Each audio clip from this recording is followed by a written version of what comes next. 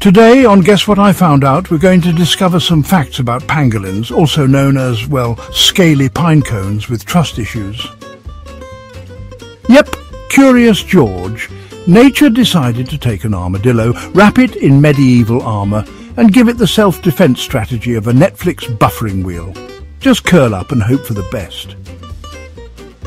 If you've ever looked at an animal and thought, that thing looks like a Pokemon someone gave up on halfway through. Smash that like button. Pangolins are the only mammals covered in scales. And not just any scales. Keratin scales stronger than chainmail.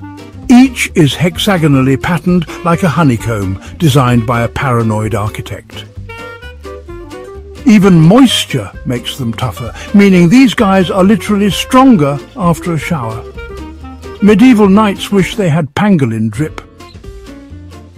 When threatened, pangolins curl into a perfect armoured sphere, soft parts tucked in, scales out. Against lions, leopards or hyenas, genius.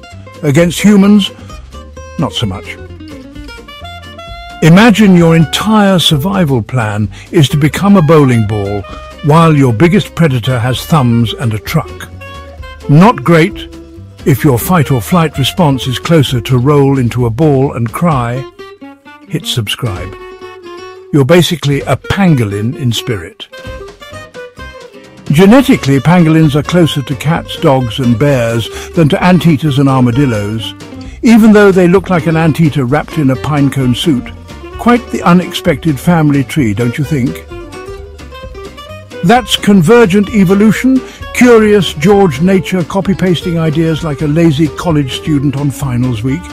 It's as if Mother Nature has her own version of control